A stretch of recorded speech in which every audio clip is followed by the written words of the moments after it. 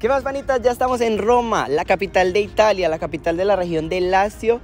Y me encuentro nada más y nada menos que delante de uno de los monumentos más importantes del fútbol a nivel mundial, el Estadio Olímpico de Roma. Estadio del cual vamos a empezar un nuevo vlog aquí en mi canal. Vamos pues.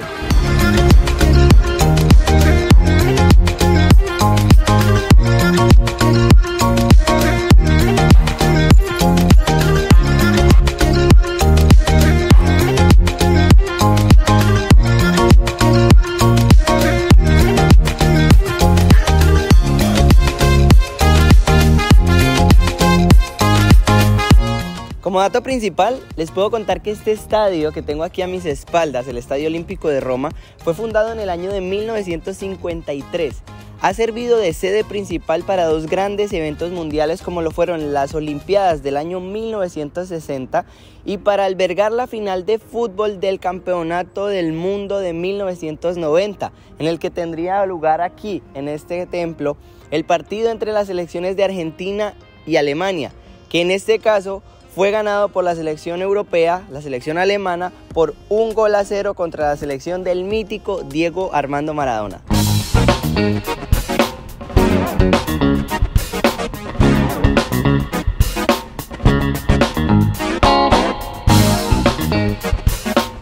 Por supuesto, otro dato súper importante sobre el Estadio Olímpico de Roma es que sirve de sede principal y de sede habitual para dos de los equipos más importantes del fútbol italiano de la Serie A, que son precisamente la Roma y la Lazio. El estadio está ubicado en el norte de la ciudad, concretamente dentro del Foro Itálico, y cuenta con una capacidad para más de 72.700 espectadores, convirtiéndolo así en uno de los estadios más grandes de Italia y también en uno de los más grandes de Europa.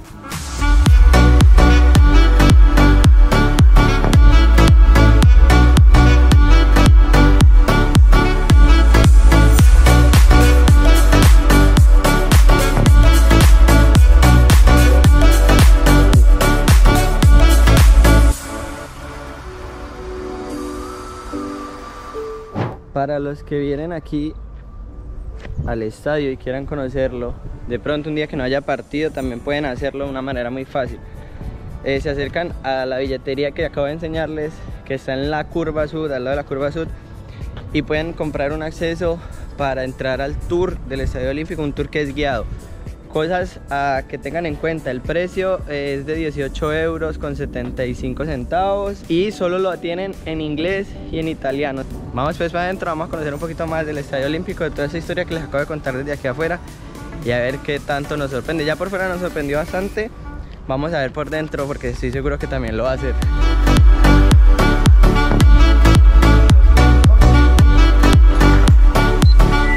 Ya pudimos tener acceso aquí a lo que va a ser el tour del Estadio Olímpico de Roma. Estamos ante un recinto supremamente importante, supremamente especial, que tiene eh, por dentro muchísima historia. Un, un, estadio que se fundó en 1953, como lo dije antes cuando empezamos este video, que se fundó de pronto en una época un poco convulsa y un, un poco complicada dentro de lo que es la, la vida del italiano se empezó a, planear este estadio en 1927 apenas. O sea, imagínense toda la historia, todos los años que hay detrás de esto, casi 100 años de historia que hay en este templo y que pues hoy vamos a tener la oportunidad de conocer y ustedes espero que también lo hagan en este video que les sea de mucho interés que les guste como a mí me gustó y por supuesto les recuerdo Dele like, compártalo, comente todas sus opiniones. Si tiene un dato curioso que de pronto a mí se me escapó o no supe porque es que realmente estoy muy emocionado y se me puede ir pues la paloma, coméntelo también que lo voy a estar leyendo y lo voy a estar comentando y así también aprendemos de pronto juntos. Sobre todo active la campanita de notificaciones para que no se pierda ninguno de los contenidos que estamos haciendo y que se van a seguir y se van a continuar haciendo. Vamos a intentar seguir viajando en la medida de lo posible y de que la situación lo permita y vamos a estar conociendo más, más templos como este. Así que gracias por estar ahí conectado, nos vemos y vamos pues para adentro en este tour.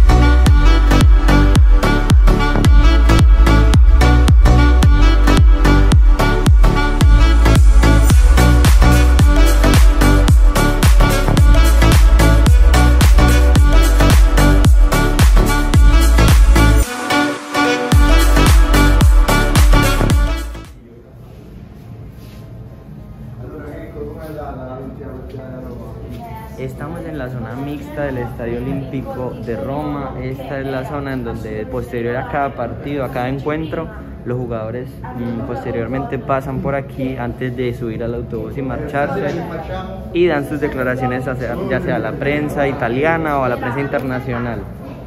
Increíble saber que por aquí han pasado jugadores de la talla de Maradona, Iniesta, Messi, eh, etcétera, etcétera, etcétera, Francesco Totti, increíble, o sea, no puedo decir otra cosa increíble.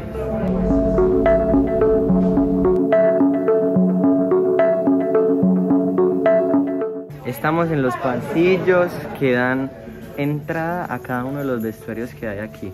Ahora vamos a ir a visitar el de la Roma para que ustedes vean un poco cómo es el vestuario del equipo local.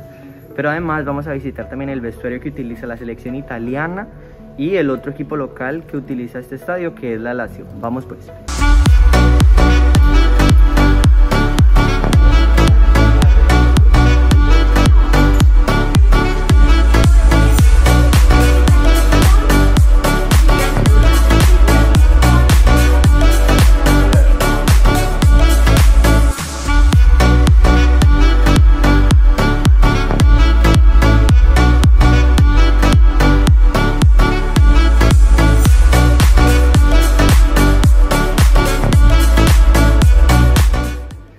Este es el vestuario nada más y nada menos que la Roma, el primer equipo. Y aquí detrás tenemos nada más y nada menos que el vestuario de José Mauriño. Es un vestuario para el solito, mejor dicho.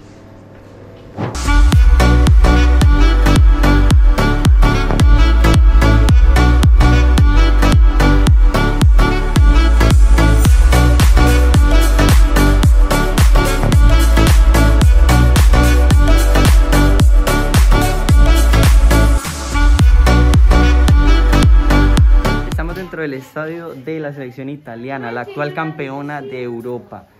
Pero es que además este vestuario nos comentan también que sirve para eh, los equipos visitantes cuando hay partido de la Serie italiana aquí, o cuando hay partido de Copa Italia, o de Champions, o de algún torneo europeo. Increíble. O sea, estoy en el vestuario donde se cambia la actual campeona de Europa. No puedo decir nada más. Chao, papá.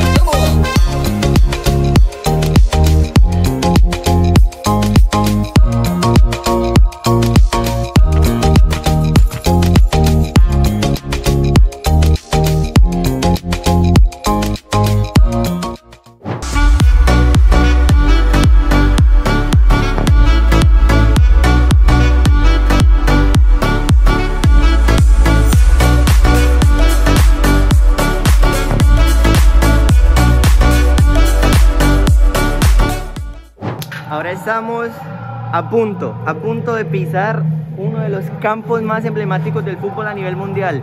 El campo en el que se jugó la final de Champions de 2009, donde Pep Guardiola logró el campeonato de la Champions League. El campo donde se ganó la Champions League del 2009, el Fútbol Club Barcelona de Guardiola, aquel mítico Barcelona de Xavi, Iniesta, Messi, que ganó el sextete. Estamos a punto de entrar al campo en el que se jugó la final de la Copa del Mundo del 90, donde se jugaron las Olimpiadas de 1960. Indescriptible, vamos pues a pisarlo, vamos, vamos, vamos.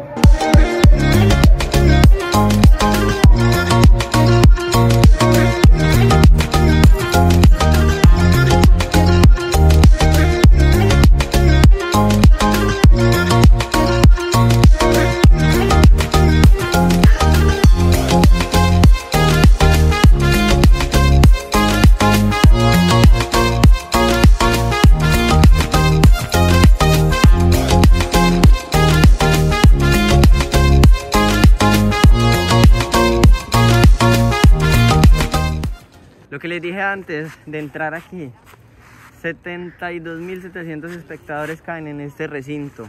Se ha jugado la final de la Champions League, se ha jugado la final de la Copa del Mundo, se han jugado Olimpiadas, eh, ha sido la sede principal de, de, las Olimpiadas, se ha jugado Eurocopas, ha sido recinto eh, para eventos de gran magnitud como conciertos de Madonna, de Beyoncé, de, de, de, grupos míticos a nivel mundial de la música. O sea, estamos ahora mismo parados, yo creo que en uno de los recintos más importantes del mundo entero, a nivel del deporte, a nivel de los eventos también. Pues desde 1998 Roma eh, accedió a prestar, como se diría, este recinto para, para eventos multitudinarios como conciertos de, de, música, por ejemplo, como los que le comentaba anteriormente.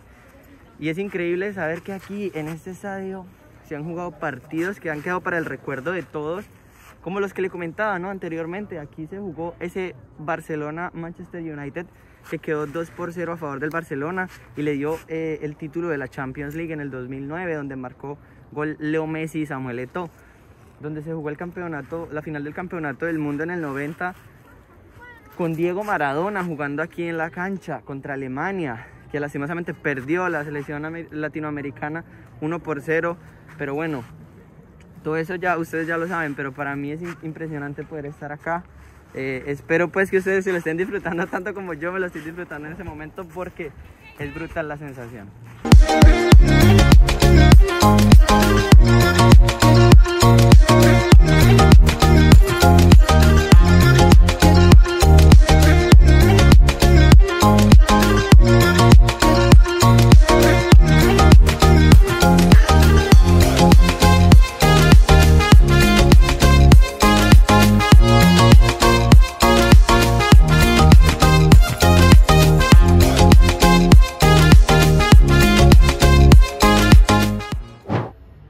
Hasta aquí el video del día de hoy. Eh, sin palabras, o sea, creo que hoy ha sido un video totalmente diferente donde hemos podido ver desde dentro lo que es el Estadio Olímpico de Roma, donde hemos podido estar en las...